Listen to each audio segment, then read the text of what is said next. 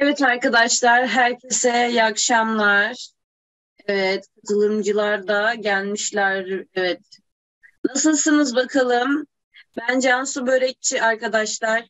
Tekuzem'de LGS matematik derslerine giriyorum.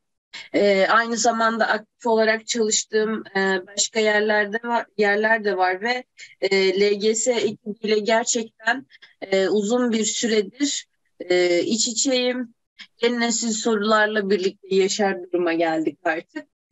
Ee, şimdi bugün biz de burada Tekuzem'de e, LGS'de ara tekrar kampı başlayacak. Hemen ondan öncesinde tanıtım dersleri için şöyle bir e, vakit ayıralım dedik. Bundan önceki tanıtım dersinde arkadaşlar e, cebirsel ifadeler yapmıştık. Cebirsel ifadelerde işte özdeşlikler içeren yeni nesil sorulara bakmıştık.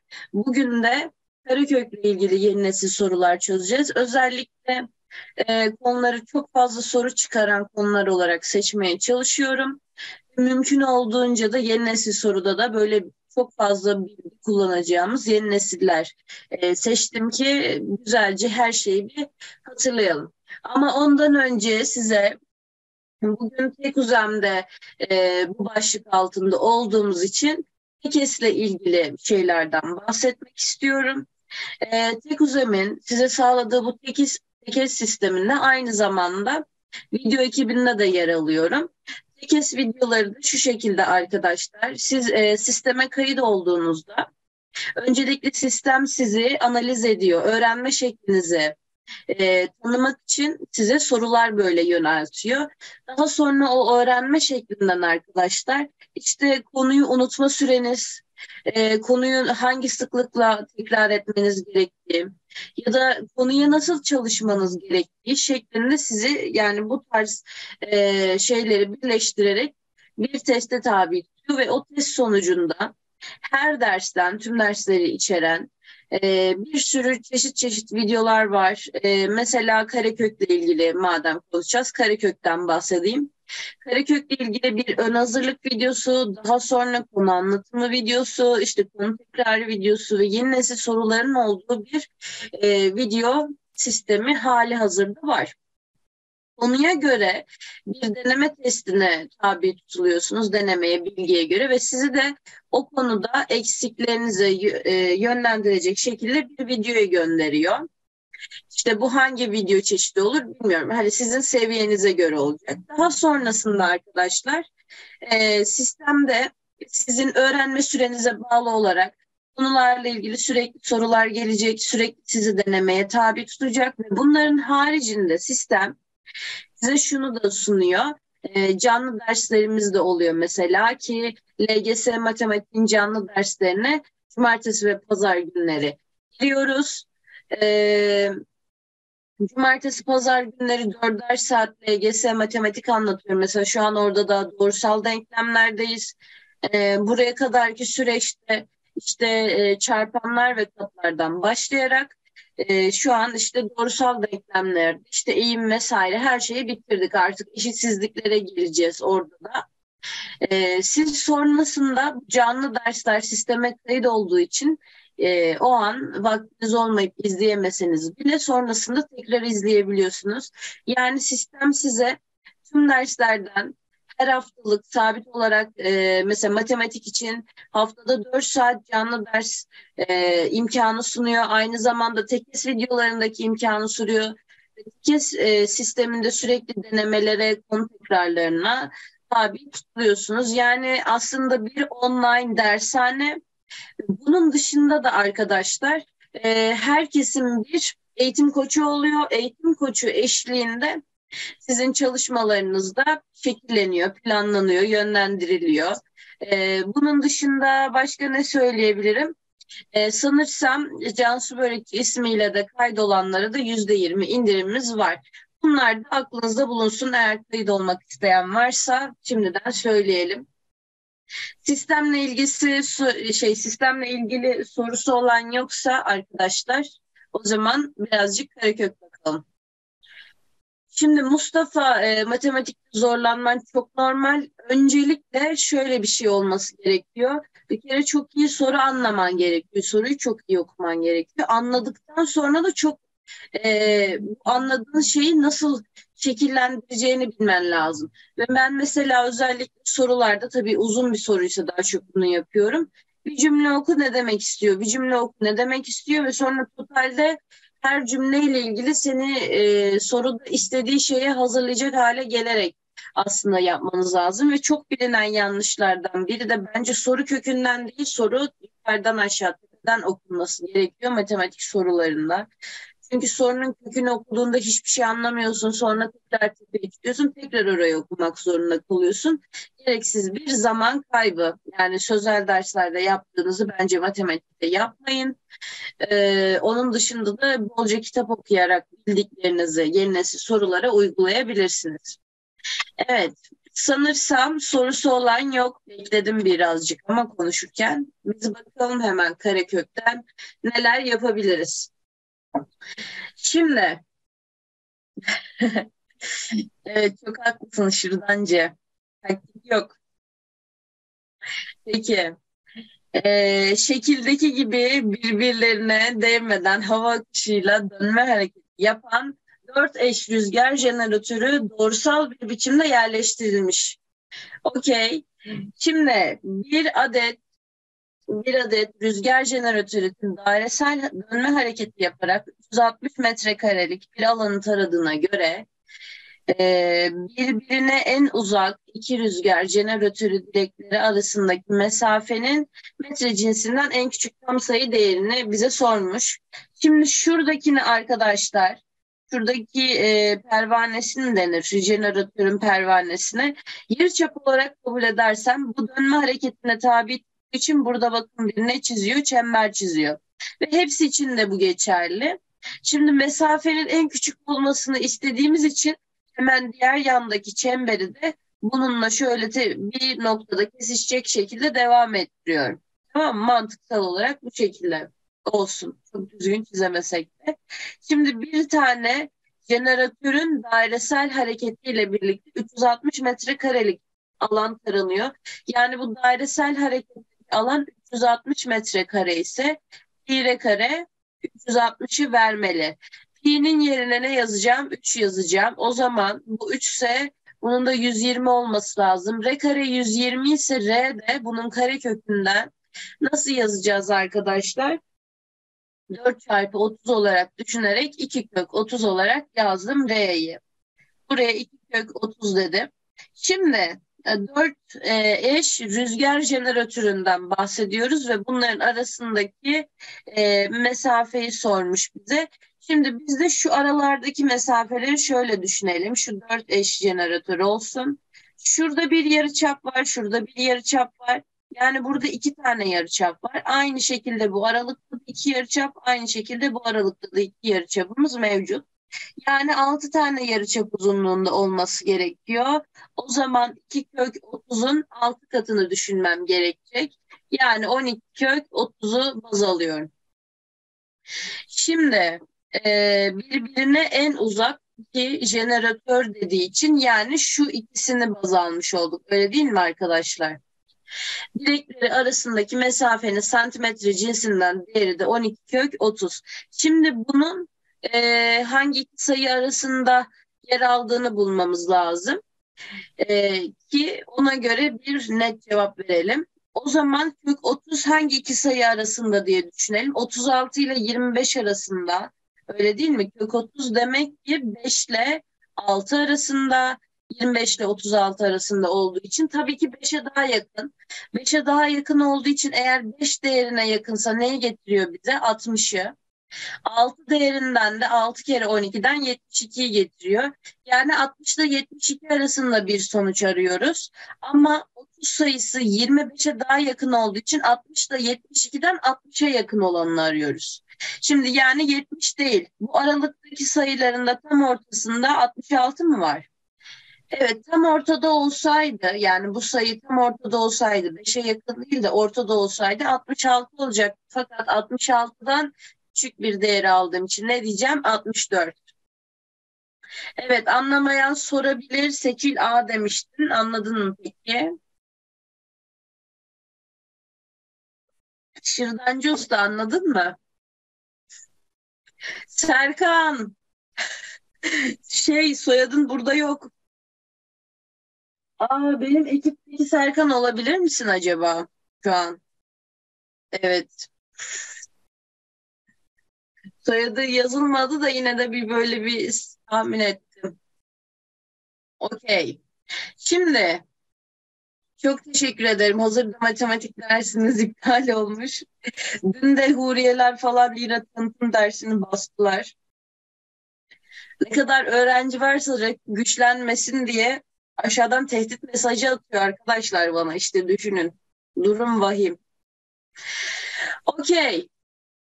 Şimdi bir online matematik oyununun ücretsiz versiyonunda kayıt olan her kullanıcıya 2 kök 288 puanla kredi veriliyor. Şimdi 2 kök 288 hiç hoş görünmüyor. 144'ün 2 katı olduğu için şu 12 kök 2 olmalı. 2 ile de çarptık. 24 kök 2 oldu. Yani herkese 24 kök 2'lik bir puan veriliyor. Krediyle oyuna başlayan bir kullanıcı bir seviyeden üst seviyeye geçemeyip tekrar aynı seviyeyi oynadığında bir miktar e, ne oluyormuş? Puan kaybediyormuş.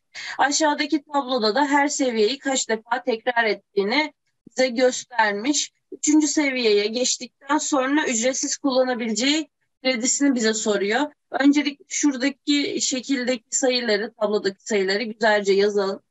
4 ile 2'nin çarpımı olduğu için 8 yerine, karekök 8 yerine 2 kök 2 yazıyorum.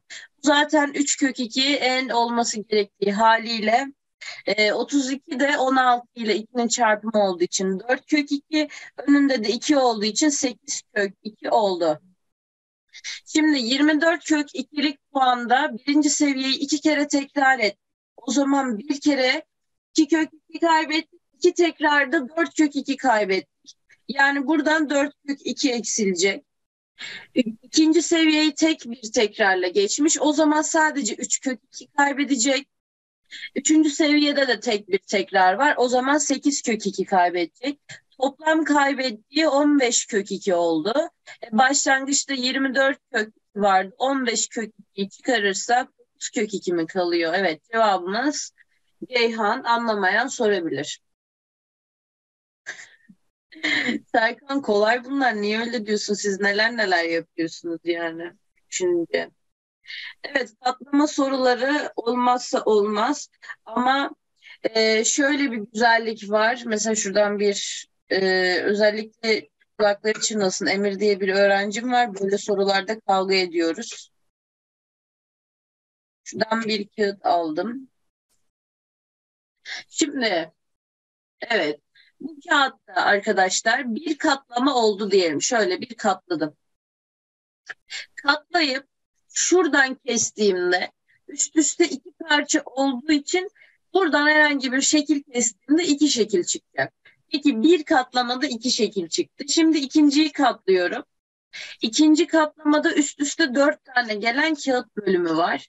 Yani bir kere daha kestiğimde ikinci kesmem oluyor bu.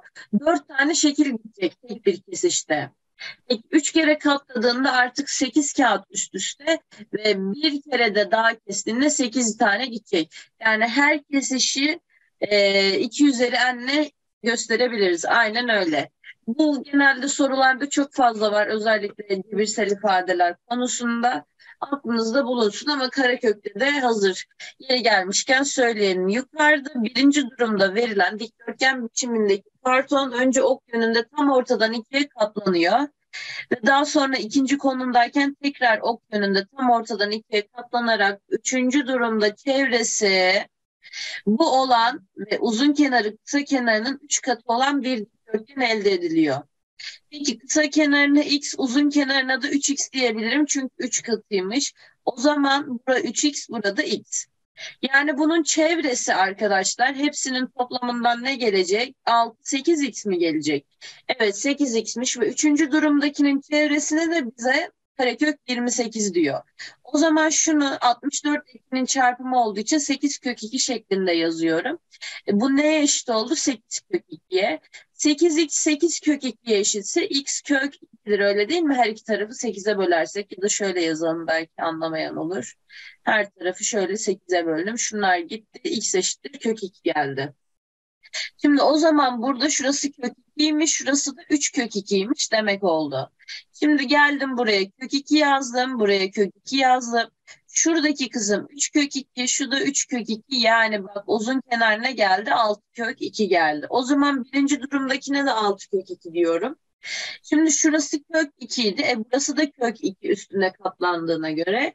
Yani kısa kenar kök 2 ile kök 2'nin toplamından 2 kök 2 geldi. Alan dediğim şey dikdörtgende kısa ve uzun kenarın çarpımı olduğu için 2 kök 2 ile 6 kök 2'nin çarpımıdır. Ee, dışarıdakileri çarptık 6 ile 2'nin çarpımından 12 içeridekileri de karekökle çarptık 4. Kök 4 dışarı 2 diye çıktı. 12 ile 2'nin çarpımından 24. Aynen öyle C. Şimdi ikinci durumda verilen dikdörtgenin çevresini soruyor bize. İkinci durumdaki dikdörtgenin kısa kenarı kök 2 ve uzun kenarı 6 kök 2. O zaman çevresi burada 6 kök 2, burada kök 2 olduğu için 6, 6, 12, bir bir daha da 14 kök 2 oldu. Evet basic sorular ama birazcık düzeyi arttırıyoruz yavaş yavaş. Şimdi evet bunlar easy. Tabii ki biraz basitten başladık. Böyle bir yavaş yavaş zorlaşıyor şöyle. Güzel sorular var yine içerisinde. Mesela bunlardan ziyade beğendiğim bir soru vardı onu bir bulayım. Hmm. Neyse bir sıradan gidelim de hangisi olduğunu hatırlamadım. Şimdi karekök 81 diyor 9, 256, 16, 121, 11, e, 14, 17, 15 ve 12 değerlerini yazdım. Şimdi bunlar kalsın burada. E, aşağıdaki çark kendi içlerinde eş bölmelere ayrılmış ve bölmelere birer ifade yazılmıştır. Birinci çark ok yönünde bir tam tur döndüğünde, ikinci çark ok yönünde bir bölü iki tur dönmektedir diyor. Okey. Şimdi bu bir tam tur döndüğünde bu yarım tur dönecek. Tamam. Şimdi bununla ilgili şöyle bilgilerimizi yazalım. Birinci çark, ikinci çark. Birinci çarkı bir tur yazıyorum. ikinci çarkı da bir bölü iki tur yazıyorum.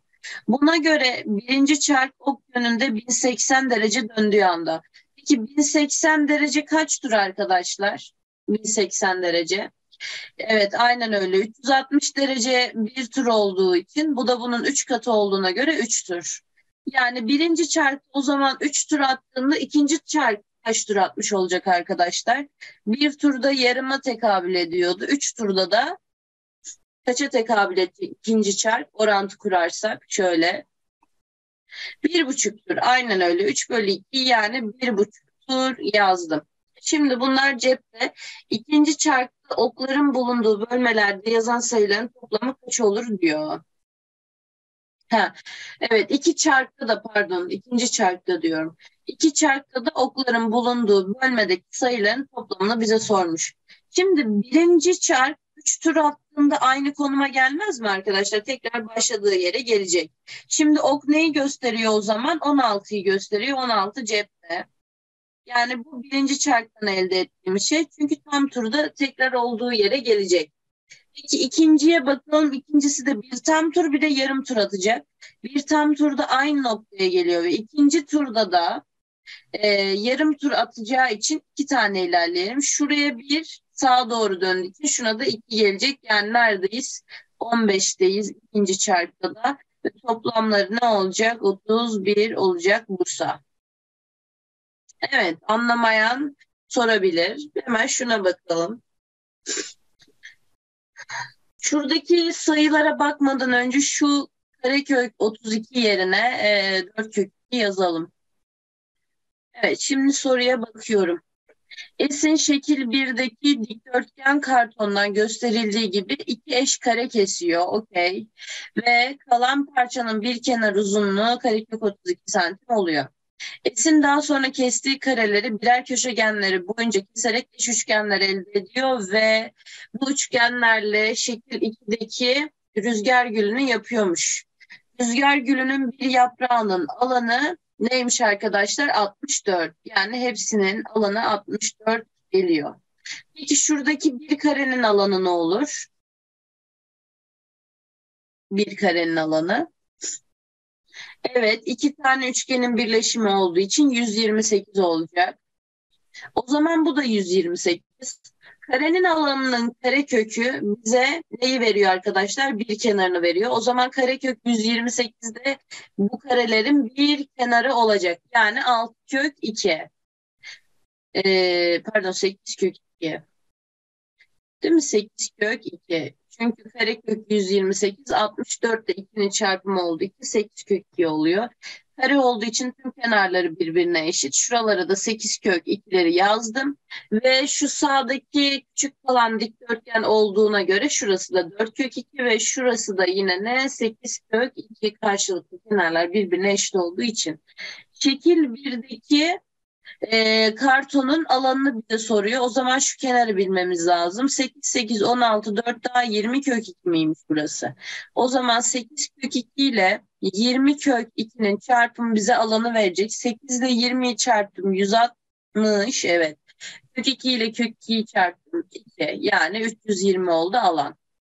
Anlamayan hemen sorabilir.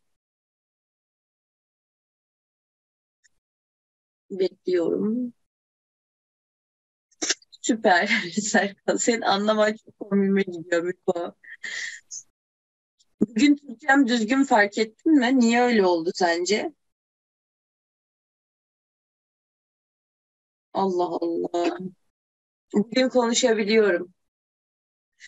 Şimdi bu soruda da ne demiş? Kenar uzunlukları 21 kök 2 ve 16 kök 2 olan dikdörtgen şeklindeki masa örtüsünün üzerinde neler varmış? Birbirine eş, eşkenar dörtgenler. Vallahi Mustafa bu sorulara zor diyorsan of. Mesela Serkan nasıl sorular çözdüğümüzü söylesin sinir krizleri. Şekli geri aç, bilmem ne yap, rezalet. O kadar anlamsız bir uğraş içerisindeyiz ki oha yani onlar evet biraz hafif kaldı. Şimdi e, birbirine eş eşkenar dörtgenler varmış.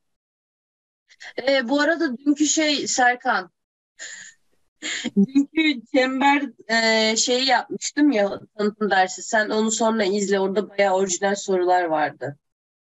Şırdancı Usta Serkan'ı soruyor. Allah'ım. Evet, bayağı sonlara doğru orijinal sorular çözdük. Oradaki e, kalan soruları sizin derse ekledim haberiniz olsun. Şimdi hemen şuradan e, şekilde şu koyu rengi alayım çünkü renklerden kaynaklı görünmeyebilir. Birbirine eş olduğuna göre bak şuradaki uzunluk, şuradaki uzunluk birbirine eşit değil mi arkadaşlar? O zaman o 16 kök 2'yi bu eşkenar dörtgeni bir köşegeni e, ne yapacak arkadaşlar? Paylaşacak. Çünkü ikisi de birer köşegen. Öyle değil mi?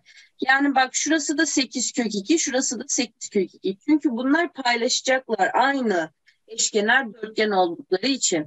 Şimdi şöylemesine uzunluğu 8 kök 2 bulduk. Bu dursun. Bir de yatay olarak inceleyelim. 1, 2, 3, 4, 5, 6, 7 tane yatay uzunluğumuz var yataydaki köşegenimiz. O zaman şunu 7'ye bölerek şuranın yataydaki uzunluğun 3 kök 2 olduğunu söyleyebiliriz. Şimdi diyor ki buna göre masa örtüsünün eşkenar dörtgen desenler dışındaki kısmının alanı ne kadar? Şöyle yapabilir miyiz? Ee, dışarıdaki kısımları bulmak için Evet, eşkenar dörtgenin alanını kullanacağız. İki tane seçeneğimiz var. Ya e, gerçekten o e, eşkenar dörtgenler dışındaki yerin alanını bulabiliriz. Ya da tamamından içerideki eşkenar dörtgenleri çıkarabiliriz. Hepsi mübah. Ama bence e, bu dışındaki kalan yerlerden gidelim. Hem de görsel becerilerimiz biraz daha güzel olur. Şimdi bak, şuradaki yarım şuradaki yarımla bir tam eşkenar dörtgen yapıyor fark ettik mi? Bu şekilde birbirlerine tamamlayalım. Şu yarım da şu yarımla şu yarım da bak bu yarımla tamamlarız. Aynı şekilde bunu bununla tam yaparız. Tam bir eşkenar dörtgen. Bunu da burayla, bunu da burayla. Şu şekilde şununla tamamlarız.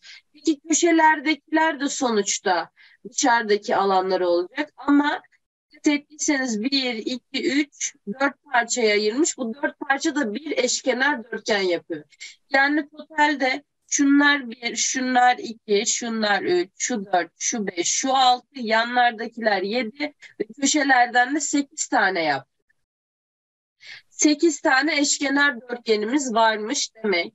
Eşkenar dörtgenin alanında köşelerini, köşegenlerinin çarpımının yarısı olacak. O zaman 8 kök 2 ile 3 kök 2'nin çarpımının yarısı olacak. Ama 8 tane bulduğumuz için bir de 8'e de çarpalım. Kök 2'lerin çarpımı zaten 2'yi veriyor. O yüzden şununla götürdüm. 64'ü de 3 ile çarptık. 192 cevap Bursa. Anlamayan var mıdır? Yine basic. Evet şuna da bakalım. Bu da zor olmayan basit bir soru. Şimdi bir spor salonu soyunma odasının 10 metrekarelik duvarına dayalı dolaplar varmış. Dolapların her birinin eni e, neymiş? Karekök 2450 santim ve 5000 santimmiş. Şimdi bu soruyu özellikle ekledim karekök bulmada zorluk çekenler varsa. Serkan 12. sınıf evet 2450 ve 5000'i şöyle bir yazalım ve hem de tekrar etmiş oluruz. Karekök bulma konusunda en azından. Evet. 2450'yi ikiye bölemem. Dur 5000'i ikiye bölerim ondan başlayalım. Genelde bu yolu tercih etmiyorum da en azından bir tanesini de yapalım. Nasıl e, kullanmanız gerektiğini açıklayacağım. 2'ye böldüm 2500, 2'ye böldüm 1250, 2'ye böldüm 675. Yok. Evet. Yo 675 ve 625 pardon. Ee, 5'e böldüm 125, 5'e böldüm 25, 5'e böldüm 5 ve 5'e böldüm 1. Şimdi kareköklü şekilde yazmak için ikili ikili gruplandırıyoruz. Şu bir tane 5 yaptı. Şu da yine bir 5. Şu da yine bir 2 yaptı. 5, 5, 25 bir de 2 ile çarptık. 50, 50 kök 2'ymiş bu. Ama zaten böyle şeylerle uğraşmayın. Bakın 5 sayısı. Yüzde Yüzde neyin çarpımı arkadaşlar? 50'nin çarpımı değil mi? 100 dışarı zaten 10 diye çıkıyor. 50 de 25 ile 2'nin çarpımı diye düşün. 25 de dışarı 5 diye çıkıyor. 5 ile 10 dışarı çıktı. 50 oldu. 50 dersin. Aynı şeyi 2450 için de yapacağız mecbur. Hadi söyleyin bakalım. 245 çarpı 10 mu deriz Serkan? Amaç bildiğimiz tam karelerin çarpımı şeklinde yazmak. %25'i o yüzden yazdım. 245 neyin karesi? Hiçbir şeylerin. 49'da 50 olur. Evet o olur. Şimdi ne diyordum? Evet. 2450 sayısı da 49 da 50'nin çarpımından 49 dışarı 7 diye çıktı. 50'yi de 25 ile 2 diyelim. 5 diye de 25 dışarı çıktı. Bu da 35 kök 2'ymiş. Tamam mı? Şimdi ne dedik? Dolapların her birinin eni. Yani şurası 35 kök 2, şurada 50 kök 2. Ama ne bunlar? Bak ne? Santim. Santimlerini de yanına yazalım. Dolabın alanı ne? 10 metrekare. Öyle değil mi arkadaşlar? Şuraya da yazalım 35 kök 2 santim diye. Şimdi burada burada dolabın alanı metrekare cinsinden ama e, bizim bulacağımız alanda santimetre kare cinsinden olacak. Metrekare ile santimetre kare arasında 4 sıfır var. Çünkü santim ile metre arasında 2 sıfır olduğu için karelerinde bir iki tane sıfır daha gelecek ve dört tane sıfır oynatacağız. Şimdi bunun alanını bulalım. Şuranın tamamı 70 kök 2 oldu. Şurası da 50 kök 2'lerden 1, 2, 3, 4, 5 tane mi var? 5 tane çarptım 250 kök 2 oldu. Bu da yine santim. Bu da yine ne? Santim. Şimdi alanı o zaman 70 kök 2 çarpı 250 kök 2 santimetre kare.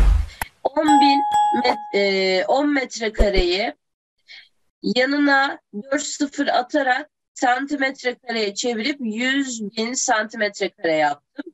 Şimdi aşağıdakileri çarpıyorum. Şu ikiler e, çarpıldığında kök 4'ten bize 2 getiriyor. E, 7 ile 25'i çarpamıyorum.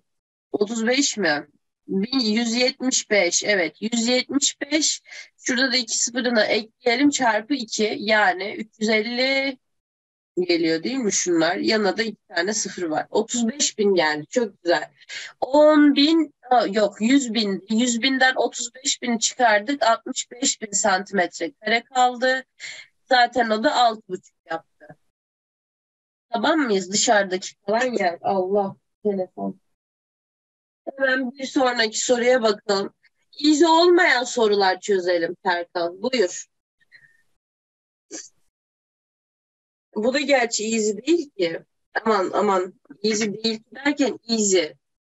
Zor değil diyecektim. Biraz daha şöyle farklı bir sorular bakalım.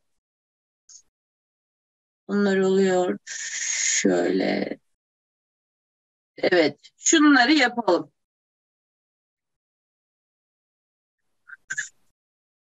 Güzel bir soru almıştım da onu nedense bir göremiyorum. Neyse biz yine buradan devam edelim. Şunu yapalım önce. Şunu yapalım. Hem de yine bir aralık sorusu. Noktalarla eş parçalara ayrılmış sarı sayı doğrusu üzerindeki eksi altı sayısına karşılık gelen noktanın üzerine e, bir bisikletin tekerleklerinden biri aşağıdaki gibi yerleştirilmiş. Okey. Tekerleğin yarıçap uzunluğu karekök 5 desimetredir. Tamam. Şimdi sayı doğrusunda ardışık iki tam sayı arası 1 desimetre. Bu bisiklet belirtilen tekerlek ok yönünde sayı doğrusu üzerinde 3 tam tur gidince duruyormuş. O, o da güzel. Şimdi 3 turda ne kadar ilerlediği hakkında bir fikrimiz olması lazım. Bir kere tekerlek çember şeklinde olduğu için bir tam turda çevresi kadar ilerler. Yani bizim bu tekerin öncelikli çevresini bulmamız lazım. 2 pi r'den 2 pi r'den 2 çarpı 3 çarpı yarıçapı karekök 5 olarak verilmiş. 6 kök 5 olarak bulduk çevresine. E biz ne kadar gideceğiz peki? 3 tur. O zaman 3 turda bunun 3 katından 18 karekök 5 olur. Tamam mı? Bu cepte. Şimdi buna göre son durumda tekerleğin sayı doğrusuna değdiği nokta hangi tam sayı arasındadır demiş. Biz eksi 6'dayız. ileriye doğru gideceğiz. Ama 18 kök 5 hangi sayılar arasında nereden bilelim? Yani ya 18'i içeri atacaksın ya da kök 5 üzerinden devam edeceksin. Şimdi kök 5 4 ile e, 9 arasında yani 2 ile 3 arasında. Önce onu şuraya yazalım. Kök 5 2 ile 3 arasında. Yani karekök 4 ile karekök 9 arasında. Ama dikkat edin 2'ye daha yakın. Yani bizim baz alacağımız sayı aslında 2'ye yakın olduğu için o. Peki 2'ye daha yakın 2,1 gibi falan da düşünebilirsiniz ama çok üzerinde durmayın yani öyle abartı abartı düşünmeyin. Şimdi bu farz edelim ki 2 olsun. O zaman değerimiz 18 ile 2'nin çarpımından 36 mı oluyor? Peki 2,5'tan az olduğu da belli çünkü bunların ortasında mesela 5, 6, 7, 8 var ya 6,5 gibi bir sayı var değil mi ortada? Onun da düşünde olduğu için 2,5'la bakalım. Şimdi 18 ile 2,5'u çarpmak için 25 bölü 10'unu çarpıyorum. Şunu 5 ile sadeleştirdim. 5, bunu da 2. Bunu da bunu sadeleştirdim. 9. Ne geldi buradan? 45. Yani şöyle 36 ile 45 arasındaki bir sayı kadar ilerlemiş olacak. Farz edelim ki, farz edelim ki e, eksi 6'dan 36 ilerliyor. Eksi 6'dan 36 ilerlediğimde nereye geleceğim arkadaşlar? 30'a. Peki eksi 6'dan 45 ilerlediğimde nereye geleceğim? Eksi 6'dan 45 ilerlediğimde 11 mi? Lan eksi 6 kafayı yiyeceğim. Evet. 51 mi? Bir eksi 6'ya Allah aşkına bir 45 eklesene. Allah'ım. 45'ten 6 çıkar bari Serkan. 39. Şimdi heh, okey. E, gördüğünüz gibi tüm sayılar 30 39 arasında. Yani bizi çözüme ulaştıran şey ne? Bizi çözüme ulaştıran şey ne? Basit bir şekilde söyleyin bakalım. Nasıl yorum yapmamız gerektiğini en azından.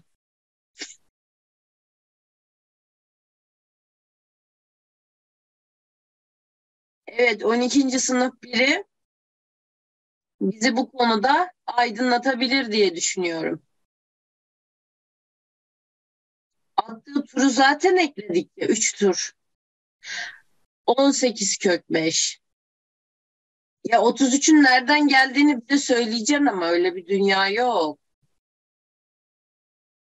Oha bu bir ha. Allah'ım. Tabii çok haklısınız. Peki sizi Adana cevabına sürükleyen neydi?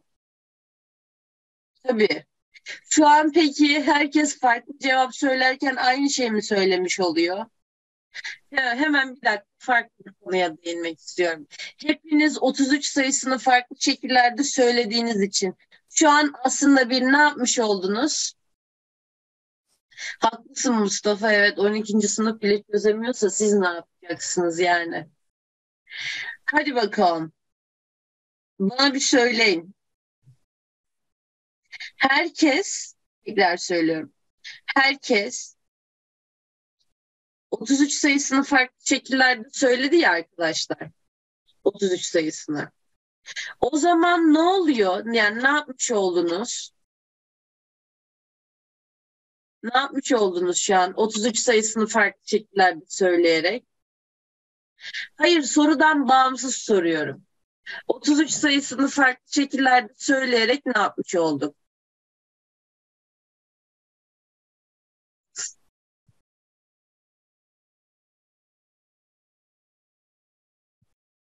Tabii ki farklılık yapmış olduk. Aha, işte yani bazı şeylerin mantığını bilmek önemlidir. Madem bir LGS grubusunuz arkadaşlar. Özdeşlik ne demek? Özdeşlik. Bana biri özdeşliğin ha, eş demek. İki tarafı da eşit demek. Yani siz birbirine eş şeyler mi söylediniz? Evet. Yani siz o zaman birer özdeşlik bağıntısı içeren, birbirinden farklı ama aynı şeyi içeren şeyler söylemiş oldunuz. Lütfen aklınıza gelsin böyle şeyler arkadaşlar. Yani yoksa e, tanımları çok iyi bir şekilde aklınızda şekillendiremezsiniz benden söylemesi.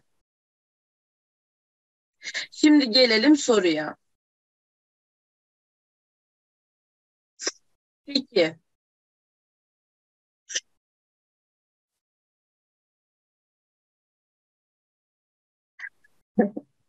Yani çıldırıyorum. Öncelikle öncelikle böyle sorularda ortalama bir sayı baz almayı öğrenmeniz gerekiyor. 36 ile 45 arasındaki ortanca sayıdan bir e, kendimize hedef belirleyelim. Mesela ortadaki sayı 40 ile 41 arasında mı bir sayı arkadaşlar? Ortadaki sayı. Evet. Başlangıcımız ne? Eksi 6. O zaman eksi 6'ya 40 ekledin 34'tesin. Eksi 6'ya 41 ekledin 35'tesin. 34 ile 35 arasında cevabımız ne? Bursa. Anlaştık mı? Ee, bu arada mesela karekök 5'in e, ondalıklı olarak az buçuk hani ne olduğunu belirten e, sayılarımız var. Ama e, evet 33'ü zaten O yüzden ısrarla sordum. Evet. Şimdi gelelim bu soruya. 4'ten 16'ya kadar 4 ile 16 dahil çift tam sayılar eş büyüklükteki kağıtlara yazılıyormuş. Her bir kağıtta hemen sohbetten göremedim. Ha. Her bir kağıttaki sayının karekökü alınıyor. Karekökü rasyonel sayı olanlar A'ya, irrasyonel olanlar B'ye atılıyormuş. B torbasından rastgele alınan bir kağıtta yazan sayının karekökünün kök 2 ile bölündüğünde sonucun tam sayı çıkma olasılığı hesaplanmış. Buna göre B torbasından rastgele e, seçilen bir sayının karekökünün hangi seçenekte verilen sayı bölündüğünde sonucun tam sayı çıkma olasılığı yukarıda hesaplanan olasılık değerine eşittir diye sordu. Şimdi ne dedik? Bir cümle bir cümle yapacağız. Her bir kağıttaki sayının karekökü alınsın diyor. Biz de alalım. Karekök 4, 2. Bu zaten karekök 6. 2 kök 2 ve bu zaten karekök 10. Ee, 12'yi kareköke aldığımızda 2 kök 3 gelecek. 14 zaten 14 yapacak bir şey yok. 16'da karekök 16'da ne olacak arkadaşlar? 4. Şimdi burada durdum ve artık soruya bakıyorum. Dedik ki karekökü rasyonel olanlar A'ya atılsın. A'ya atılacak sadece rasyonel değeri şu ikisini elde et değil mi? Birisi 4, birisi 16. Çok teşekkür ederim Serkan. Geri kalanlar da irrasyonel olanlar oldu kareköklü olduğu için. Onları da B'ye atacağız. Yani 6, 8, 10, 12 ve 14 B'ye atacağız. Şimdi bunları kö e, karekökte yazmıştık. Köklü hallerini de şuraya yazalım. Kök 3, e, kök 10, 2 kök 2, kök 6 ve kök 14. Bize diyor ki kök 2 ile bölündüğünde sonucun tam sayı çıkma olasılığı hesaplanmıştır diyor.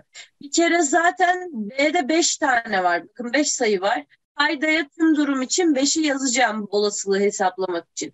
Peki kök 2 ile e, bölündüğünde tam sayı çıkma olasılığını hesaplamak için tam sayı çıkan da hangileri var diye bakmamız lazım.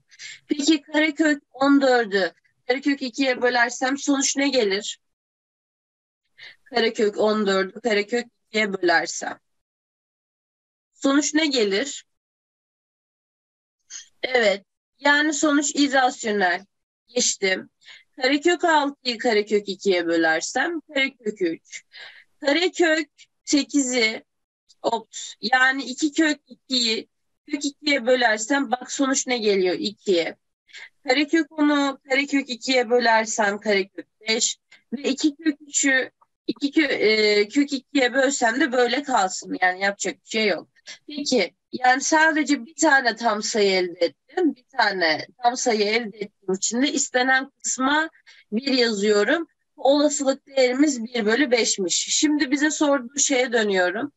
Buna göre B torbasından rastgele seçilen bir sayının karekökünün hangi seçenekte verilen sayıya bölündüğünde sonucun tam sayı çıkma olasılığı 1 bölü 5 ile aynı olur diye soruyor. Şimdi böyle sorularda köklü sayıdaki kökteki sayı bize ipucu veriyor. Mesela biz 2 e, kök e, 13 sayısını nasıl rasyonel yaparız diyorsa ya buradaki kök 13'lü sayıya bakıyorsun hemen ya kök 13 ile çarpacaksın diyorsun ya da böleceksin. Yani seçenek oradaki köklü sayı. Sonucu tam sayı veren ya da rasyonel sayı veren. Aynı mantıkla mesela 5 kök 3'leri atıyorum. Kök 3'lü bir sayıyla çarpacaksın veya kök 3'lü bir sayıyla böleceksin. O kök 3 de olabilir. Aynı mantıkla mesela e, şey diyelim 10 kök 10 kök işte ne diyelim 15. O zaman ya bunu kök 15'e böleceksin ya kök 15'e çarpacaksın ya da kök 15'li bir sayı bulacaksın onunla çarpıp böleceksin. Yani seni tam sayıya ulaştıran şey şuradaki köklü şey. Burada mesela 2 kök 2'nin kök 2'si vardı ve kök 2'ye bölündüğü için bak bu zaten direkt cevap olarak çıktı. Şimdi ne yap? Seçeneklerden birine böl cevap tam sayı çıktı.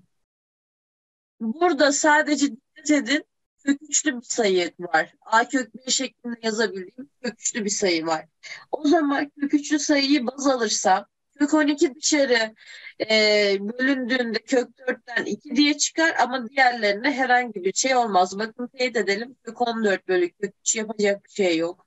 Kök 6 bölü kök 3 de zaten kök 2.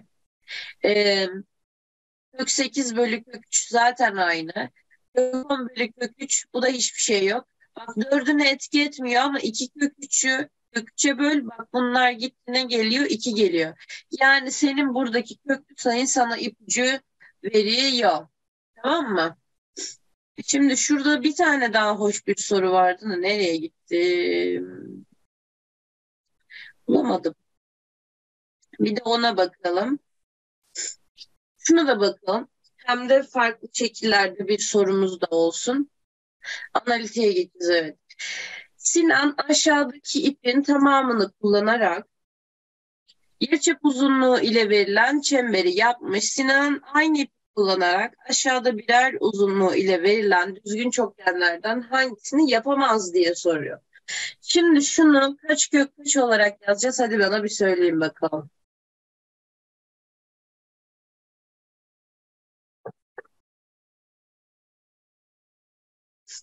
4 kök 3. Değil mi? 16 çarpı 3 olduğu için. Şimdi bu ip sonuç olarak çemberi yapan ipse demek ki çevresini oluşturuyor. Yani 2 pi r'yi kullanacağız.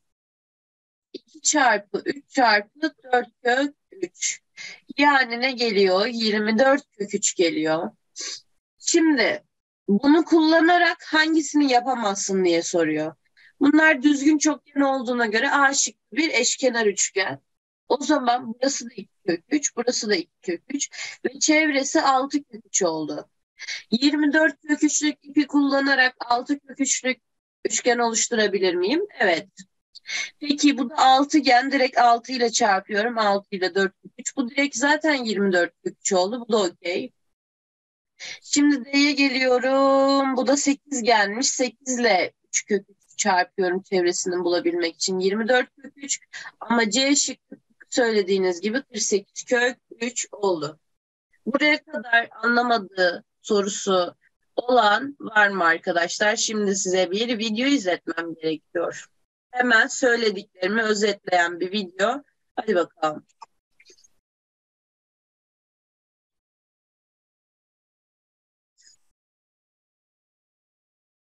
Nasıl yok? Ya sen beni bekliyor da olabilirsin. Sana çok güvenmiyorum.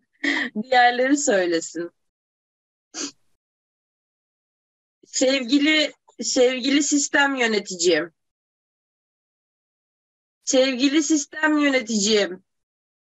Onur Bey. Ama direkt açılıyordu normalde. Onur Bey.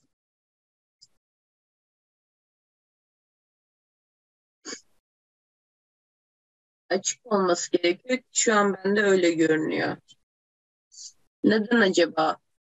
Sesim yine gitmiyor ve kulak değil. Videodaki ses gitmiyor. Bende değil problem diye düşünüyorum.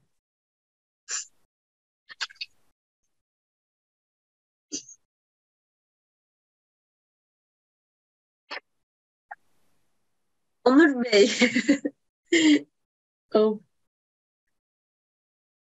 Bende geliyor, arkadaşlara gitmiyor sadece.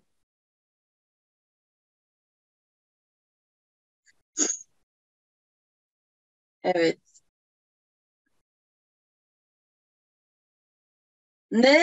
Verelim hadi bakalım. Ses gelmiyor dediler de o yüzden diyorum.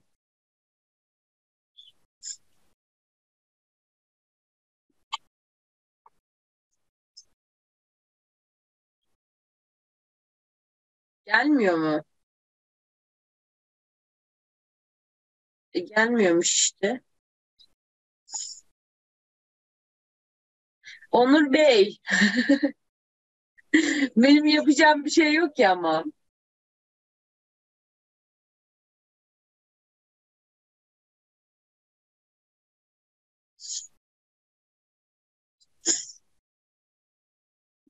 Ya orada açık görünüyor. Neden öyle? Bak işte kamera falan filan. Aa ben bir şeye basmış olabilir miyim? Bir dakika.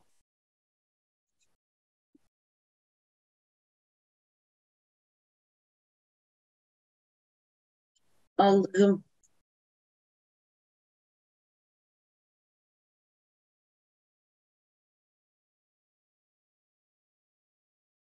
Peki neyse şey, izleyin yani ne yapalım? Çünkü görünmüyor burada. Bakıyorum ama ekranda da baktığımda neyse ya okuyun arkadaşlar açıyorum işte.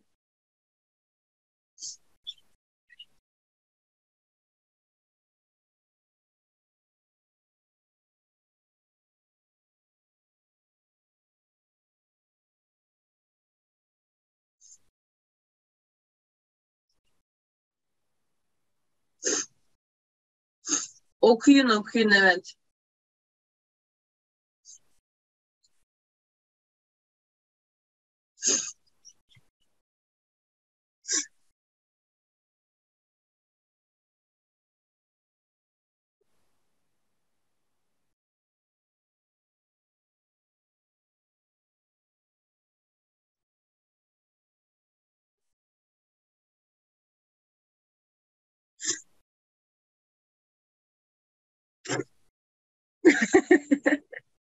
İlayda ya. Yemin ederim bir saattir aynı şeyi düşünüyorum. Çok güzel reklam yapıyor gerçekten.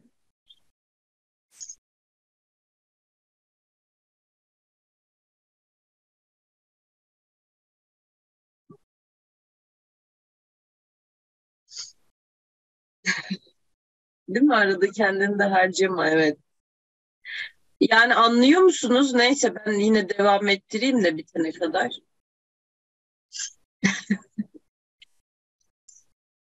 Evet.